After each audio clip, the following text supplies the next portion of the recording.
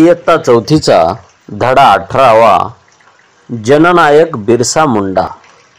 बिरसा मुंडा यांचा जन्म पंधरा नोव्हेंबर अठराशे पंच्याहत्तर रोजी सुगाना व कर्मी या आदिवासी दाम्पत्याच्या पोटी झाला. त्यांचे जन्मगाव उलीहातू हे रांचीजवळ आहे. बिरसाचे आईवडील हे शेतमजूर होते. घरची परिस्थिती अतिशय हलाखीची होती. गावात शाळा नसल्याने त्यांना मामाकडे शिक्षणासाठी पाठवले.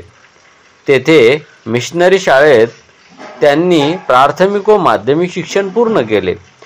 शिक्षणाबरोबरच बिरसा यांनी संगीत आणि नृत्यातही विशेष रस होता. तो काळ पारतंत्र्याचा होता.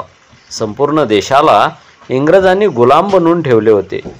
जंगलात राहणारे आदिवासीही या गुलामगिरीतून वाचले नव्हते. इंग्रजांनी वन कायदा करून आदिवासींचा जंगलावरचा पारंपरिक अधिकार नाकारला होता. त्यामुळे आदिवासींमध्ये इंग्रजाविरुद्ध असंतोष निर्माण झाला होता. अठराशे चौऱ्याण्णव साली बिहारमध्ये भीषण दुष्काळ पडला. उपासमार आणि रोगराईत अनेक लोक मरण पावले. तशातच ब्रिटिशांनी जमीनदार व जहागीरदारांकरवी शेतकऱ्यावर अवाजवी शेतसारा लावला होता. याविरुद्ध बिरसाने वेळोवेळी जनआंदोलन केले. त्यामुळे संतप्त होऊन इंग्रज सरकारने अठराशे पंच्याण्णवमध्ये बिरसा मुंडा यांना दोन वर्षाची सक्त मजुरीची शिक्षा ठोठावली. त्यांना हजारीबाग तुरुंगामध्ये डांबण्यात आलं. याच तुरुंगात बिरसांनी इंग्रजी सत्ता मुळासकट उघडून टाकण्याचा संकल्प केला आणि आदिवासीच्या आर्थिक व सामाजिक स्वातंत्र्यासाठी इंग्रजाविरुद्ध उलगुलान पुकारला. उलगुलान म्हणजे एकाच वेळी सर्वांगीण उठाव. अठराशे सत्त्याण्णव नंतर बिरसा मुंडा यांच्या नेतृत्वाखाली आदिवासींनी आपल्या पारंपरिक शस्त्राद्वारे अनेक लढाया केल्या. ब्रिटिशांना जेरीस आणले.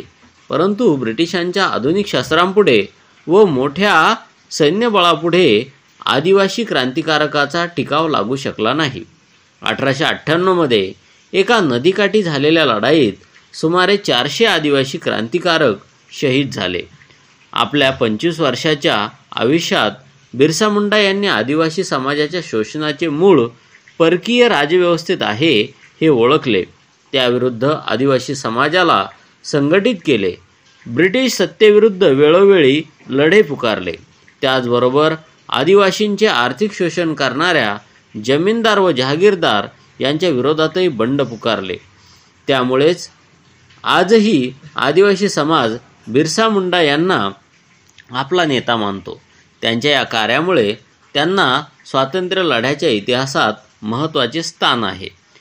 सन एकोणीसशेमध्ये बिरसा मुंडा पहाडांमध्ये आदिवासी जनतेस मार्गदर्शन करत असताना ब्रिटिश सैन्याने अचानक हल्ला चढवला.